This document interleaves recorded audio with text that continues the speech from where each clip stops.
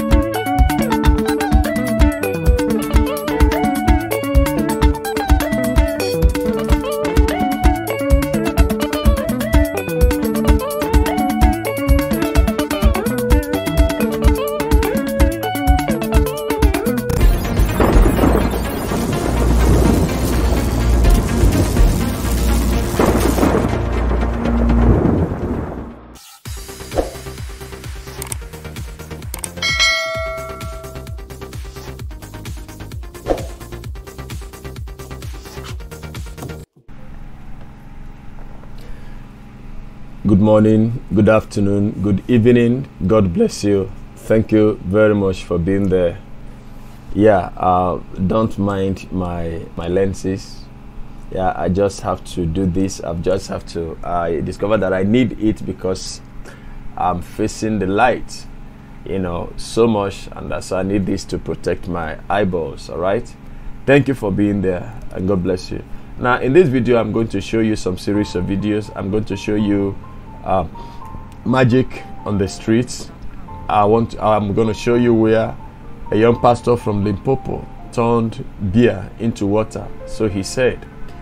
But before we got to that place, before we get to that place, rather, I like to start by saying that I remember in those days when uh, we do see magicians, uh, you know, perform in the streets. Um, I also remember when we were in primary school so many years back that sometimes the school authority will uh, bring in some magicians to come and entertain the, the children. I really wouldn't understand the essence of that, but looking back then, I know to then now, I would think maybe it's because of the gain that the the head teacher would make because uh, it was not free. I wasn't actually opportune to be uh, in so many of them because I couldn't afford to pay the fee. I, I couldn't afford to pay the fee, you know, that uh, we are being paid in those days. But I also, uh, but but but um, on a few occasions, I bumped into them, you know, performing in the market square. You know, when it is is done in the market square, it is always uh, usually free of charge, and the reason for that is because they want to attract customers. They want to uh, gain clients, those who would come to trust in the in their powers, you know, um, and so they will look for them. I remember uh, seeing a man in the marketplace in one of those days that uh, his own car was used to run him over. I also remember seeing in the trunk of the car when he went to uh, recite an incantation or enchantment, you know, in something that uh, looked like a mortar with some fetish objects plus eggs and so, so, on and so forth in it. After that, then he lay down and uh, his car was used to run him over. And people gathered, just like people are milling around this young man who suddenly developed interest and desire, dreamed to become one of the highest magicians in the world. And he said he wants to be uh, one of the best. In fact, as at today, I don't know any magician, any top magician in Nigeria. So he said he wants to be the topmost. Now, when you look at this and you compare what is happening in the churches today, the processes of healings, the the manipulation in uh, you know making people people fall, uh, the buying of actors and actresses who would come and and uh, pretend as though the power of God has hit them, and you find out that these things are just synonymous with what is happening in the world of magic in the world outside outside of the church. Now the question is, what for? You know, I was thinking on this. I had uh, you know an inscription pop up on my screen, and that was, "I am thinking of hell." Meanwhile, I will let you watch the guy who turned beer into water and gave his congregation to drink. The other time, it was somebody turning water into wine, but this time around, it is now the other way around. So while others were turning water into wine, himself turned beer now into water. I will be seeing you later on at the end of the video. are kwane kgomo la ke re tšhetše You're the one who brought it there. I get tlile le wena ke re tlisitse ko wena you didn't open. a seng ko bula Next. You didn't put anything in. The- You didn't put anything in. a again. Ah, seng ko tšhela selo ka gare a kere ya Let's put it down here. re bja fase Okay. Let's put it down here. Okay. Again. le Let, let, let's put it down here. re bja fase In the mighty name of Jesus. In the mighty name of Jesus Christ. Lord, your people have been drinking too much because of Monat and Polan. Wait. So, Father God, this thing I do not ever want to see in my church. This thing has been destroying people, making them to sin. So, right now, oh God, I change the taste of this thing. Let, let it be tasteless by the power of the Holy Spirit. Livra hasko vradia maske livra haske livra hasko tia. Sekira mazo bradia hasko bradia maske te. Father, turn it into whatever you want. Water. Turn it into water right now in Jesus' name. Bring the oil. People are saying, why oil?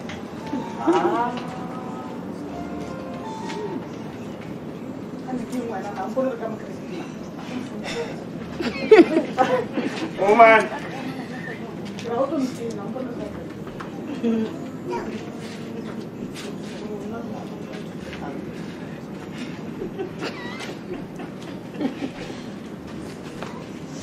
Father, right now, I change the taste of this beer. Let it be tasteless to your people so that they can believe in you. So that they will believe in you. In Jesus' mighty name.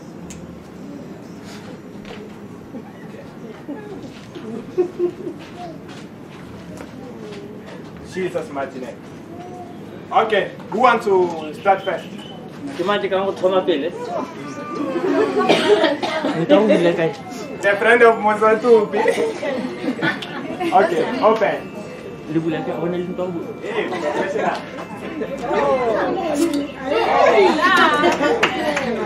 This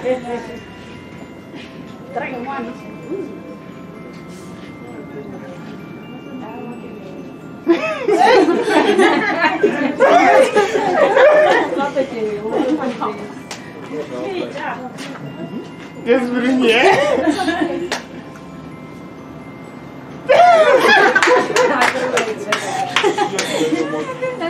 What is happening?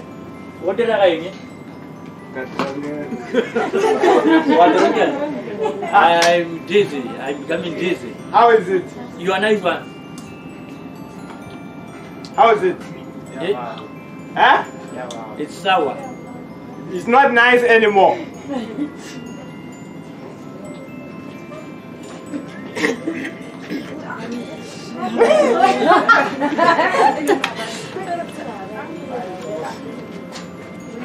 Libro cum celebreida la haske viema, libro haske tiama sigi vidi, la rus. La cronze ki di claricu un testelei. Auzit! Eh? Not, not test! Eine Dach. Not test! Eine Dach. Test. Hey,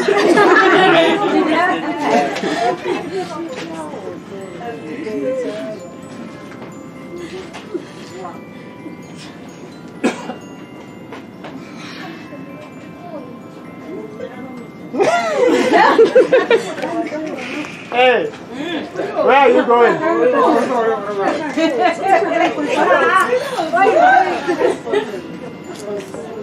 What, what's happening?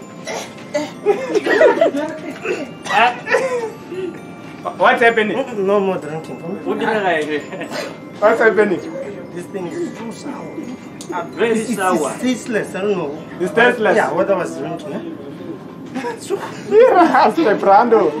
There you go, Sahati Jaha. I've never drank Kasan before, so I don't know the taste of it. Eh? I've never drank Kasan before, so I don't know the taste of it. Even if it's sour, I won't tell. Okay.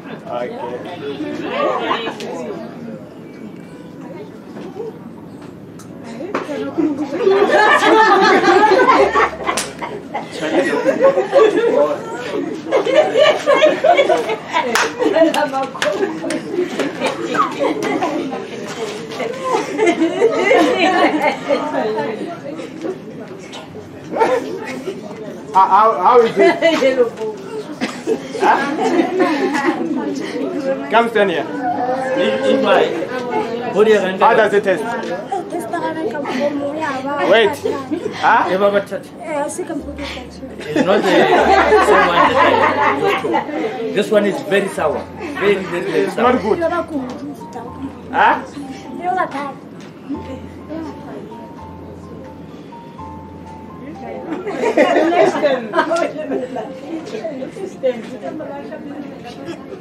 What's happening? Hey, hey, hey! What, what, what's happening? Hey! What's happening? How does it taste? Huh? What, what, what, what is it? What, what is it? Ke eng, eh? What, what is it? Ke eng, eh? Ke eng ntse? I don't know it. Are, are you here? Le sa le gona? Hey! Come here. You'll be here thinking me no prophet does not see you. Ke ntuletša, ke ntuletša, ke a go tseba. Hey! The problem is you'll be next. Are you Thoma- here? Thoma ka go boreta, ke ra tseo le botshware go boreta pele. Aga. What?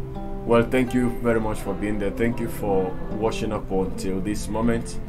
You have you've seen that you saw what took place there. Uh, looking at the substance in the bottle, um, the foaming was still there. The color of the beer was still there. Only that they said that it was tasteless in their mouth. But I discovered something that majority of the first set of persons that tasted that beer, uh, about 75 or 80 percent of them happen to be disciples. Uh, the other lady in red seemed to be new amongst them. And so obviously those were arranged people.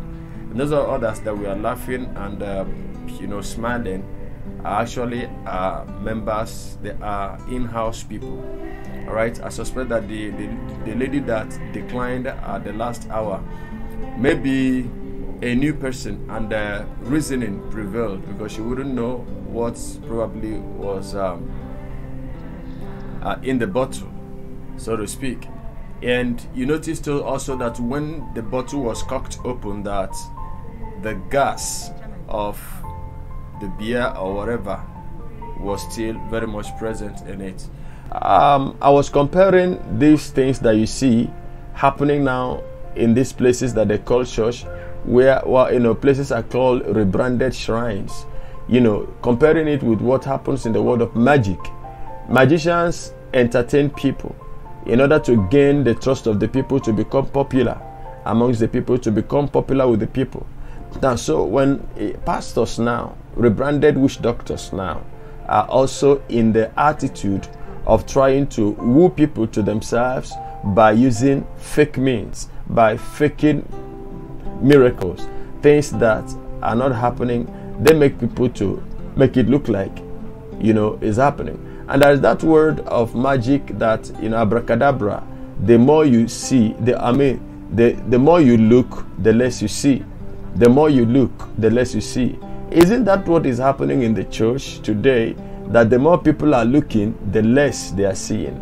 The more people are, are you know, seeing dead bodies rise from the, you know, the coffin. They are looking and they, they, you know, they thought they saw something, but they didn't really see anything. The more they look and they see people who were fat being, you know, deflected live on camera, they looked. They were very, very observant, but they didn't really see the tiny details, okay, of what truly, truly took place. Now, the more they see, they, you know, they look and hear prophets prophesying names and giving birth dates, giving uh, um, phone numbers, and calling home addresses. Now they look, but lesser do they understand and realize that these things are fake, these things are falsehood. But then, thinking of hell, thinking of eternity, my question now comes to you as a child of God who is in the church. What shall, what shall it profit you to be entertained? What shall it profit you to be deceived the way you have been deceived? And yet you, you, uh, you know, you at the end of this time, you have not received any miracle. You, you've not received anything that is tangible. I hear people say, Don't talk about that man of God. I was watching him on television and I received my healing. Wonderful. Wonderful. To God be the glory. But I tell you something that God is God and God can never be mocked. God can give you miracles. Sincerely speaking, even without seeing that man of God, if your faith is strong in God, even in your room, God can touch you. If you pray, God can touch you. So it is not really because of the man of God, but because God did not want to disappoint your faith. You have seen what the, he is performing, and you believed that this was God in action. And so you trusted God for your own miracle. And so God could give you healing, God could give you that promotion, God could give you that long awaited miracle because your faith was at top notch at that point in time. Now, but I'm not doing this video to discredit any man of God. I'm not doing this video to discredit any prophet. But the question is when you have young people like this guy here who is doing this kind of thing, I checked his YouTube channel. He has about 70 subscribers. So obviously he is starting out new. When Alph Lukau celebrated 1 million subscribers recently, himself is just starting 70.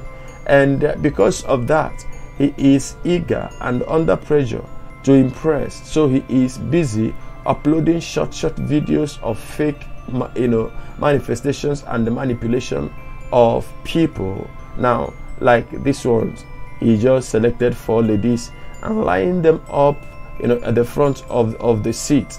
And when it was time for him to manifest, he just asked the one, two, three, four of you stand up. All of you. Can you stand up? All of you. According to what? No, no, no, no, no, no, no, no. Just an example.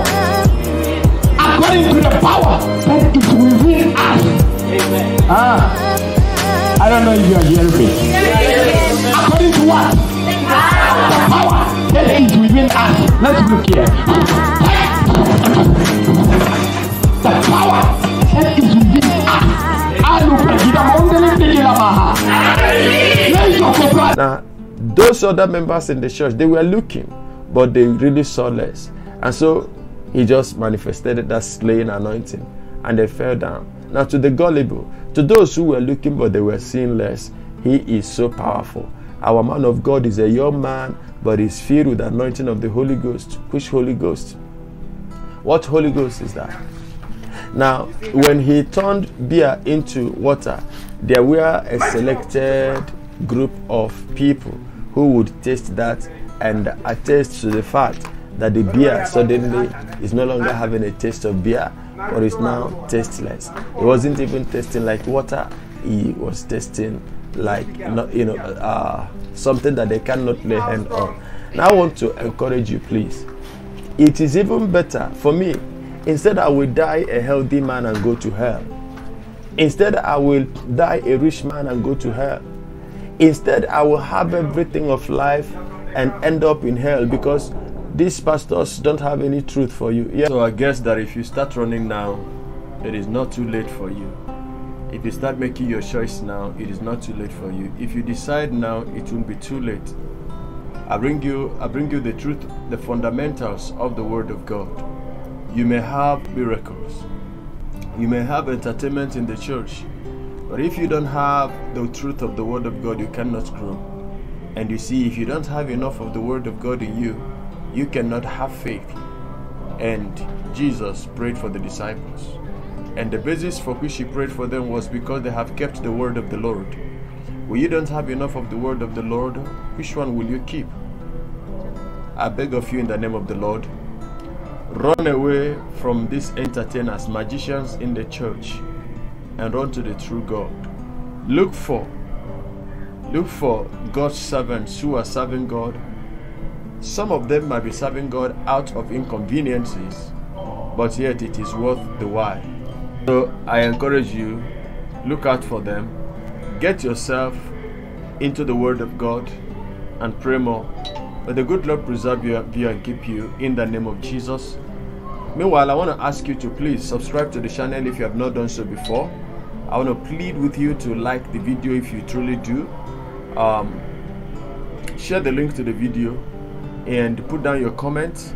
Please select the bell icon tap on the bell icon if you're a new subscriber or even if you're an old subscriber but you've not done this tap on the bell icon and select all so that you will always be notified whenever we upload new video clip may the good lord preserve you and keep you keep you safe and away from charlatans and magicians bandits on the altar until i come your way again in the next video i remain your brother in the lord and i want to say to you shalom